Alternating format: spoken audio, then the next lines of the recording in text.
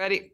Okay, so this is a unit on earthquakes, and we know with an earthquake, from the epicenter, there's seismic waves that are released. There's two types of waves. There's an S and there's a P wave. The first one we're going to demonstrate is a P wave. That's a primary wave. That's the first one to arrive. It's a compression wave, and it's the fastest wave. Okay, eyes closed. Look straight ahead. Just feel it.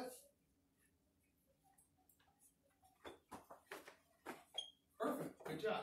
Okay, the second one we're going to do is going to be a secondary wave. That's an S wave. It's a surface wave, and this is one where it actually goes down and up.